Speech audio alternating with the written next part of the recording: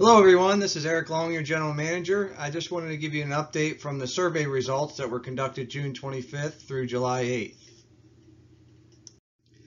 And what was the purpose of the survey? The survey was intended to provide information to the staff on member activity through 2020 and 2021 season uh, with regards to COVID-19 restrictions and access to the facilities.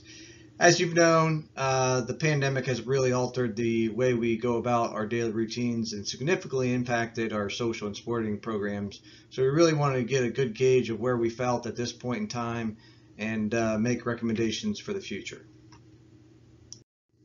So what happens next? Uh, we'll have a second survey in the fall. Uh, this will be um, as the pandemic evolves and we'll look at the future and if there's need for any uh, possible adjustments. I also want to thank everyone that would uh, participated in the survey. We had about 818 responses. Uh, this really is helpful in us in how we uh, monitor and promote the upcoming season and our social activities. And what we understand at this time, obviously right now, uh, this survey is a snapshot of how you currently may feel but honestly, uh, this is now a week or two of, since you filled out the survey. So obviously things have progressed uh, with the pandemic. So we're going to uh, take that into consideration and obviously with the next survey, we'll have more of a focus approach and uh, you'll see some more results. So we had a question in the survey where we asked you when were you going to return in the fall. Uh, obviously some of you are still staying within Pelican Sound. So about 43% of you uh, are planning to return in October. There's about 36% uh, that are either still currently uh, in Pelican Sound or unsure of their return. Um, so this is a good indication to us of where we stand. Obviously, we're going to ask uh, this question again uh, in the fall so we can kind of gauge uh, where our membership will be in the upcoming fall season. Uh, with regards to food and beverage, uh, we had uh, a series of questions, and we'll go over some of the highlights here. Uh, we asked, uh, did you prefer uh, dining inside or outside? Uh, for the most part, uh, most folks are, are, looking for outside dining, but there are still a considerable amount that uh, will go inside or out. so we can take that in consideration for the fall season, and we'll make adjustments as needed. In the survey, we asked you uh, the table side you like for your dining experience. Uh, most of you are feeling more comfortable with uh, smaller table sizes, so we'll take that into account for the future. Um, there was some comments that some would just like a two-top as well, so we understand uh, the needs and uh, we appreciate your feedback on this.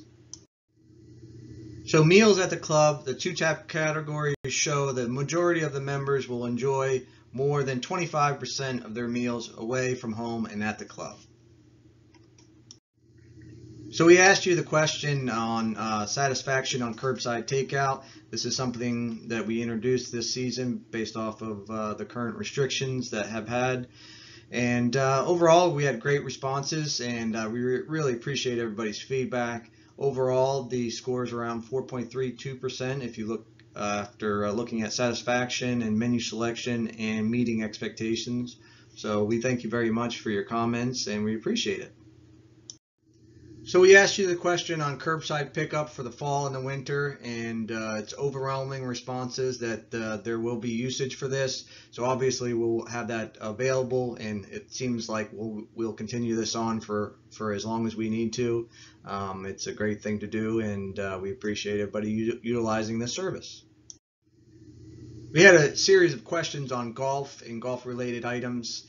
Various questions were related to shotgun events uh, versus tee times, also utilizing possibly a mobile app where you can uh, place your, your scores on an app for an event, and also a question on single riding and if you're in favor of a partition between a golf cart. So we had uh, a really good feedback on this. We do see that most of you are in favor of more of a tee time approach to any event. Also, uh, we did have for the 4th of July utilizing a Golf Genius, and that worked out quite well. So that's something that we're going to look at. And most of you are preferring single ride uh, golf cart usage in the future, so we have that under consideration for the future. Thank you very much. So on our fitness, uh, the results, uh, we showed some mixed feelings in regards to comfort level with uh, entering into the fitness center and attending classes. Um, and we also recognize that and for the future we're looking at uh, possibilities of need for any outdoor classes or virtual classes for the future. So this is something we'll be uh, looking at closely and in our next survey we'll ask uh, some more focused questions on this. So we had a question in there, will you be as active um, in the following programs as you have in the past? Uh, we understand golf and dining are uh, the, at the highest level, but uh, we understand this is also a snapshot of where you may be at this point in time, and it may change as things progress. And we take that in consideration. We understand, though, that the card and card games, it doesn't seem like that's something that folks are looking at, and we understand with the sound learnings, uh, it looks like some of you are more interested in some type of virtual classes for the future. So we take that in consideration and we'll have some more focused questions in the survey uh, in the fall. And I want to thank you again for taking the time to fill out the survey. This was very helpful for the team.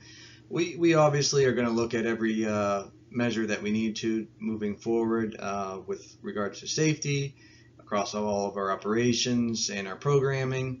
I also want to thank you for your feedback. We had over 800 uh, individual responses. Uh, we were able to take that back with the team and evaluate as a whole. Um, also, I just want to remind you we will conduct another survey in the fall, most likely uh, early uh, or late September, uh, and more focused questions as things progress with the pandemic.